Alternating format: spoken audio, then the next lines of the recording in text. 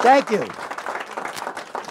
I just, I want to try something just a, a little different. Um, Ursula, as I run through the cards like this, you just say stop anytime you like. Stop. Right here. Can you remember that card? Would you? Please don't forget it.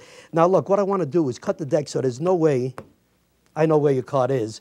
Uh, for the wise guys, we'll give it another cut. I have no idea where your card is. I really don't. But you don't forget it. You have to concentrate on it because I don't think anyone else has seen it, you know, but you.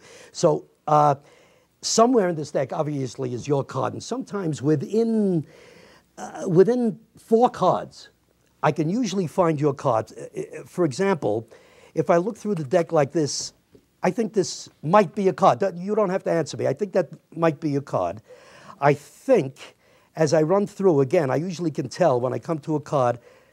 I think this can might be your card. I think this might be your card, and I think this might be your card. So don't tell me anything. I'm not sure.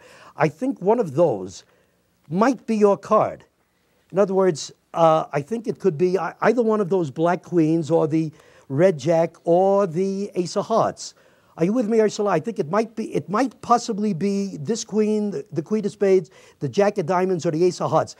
Uh, I, I kind of got to the point where I don't think it's this black queen or this black queen or the jack of diamonds. I think your card is the ace of hearts. Am I right? But you see, I couldn't go wrong because all of these aces, so I couldn't have gone wrong. But that-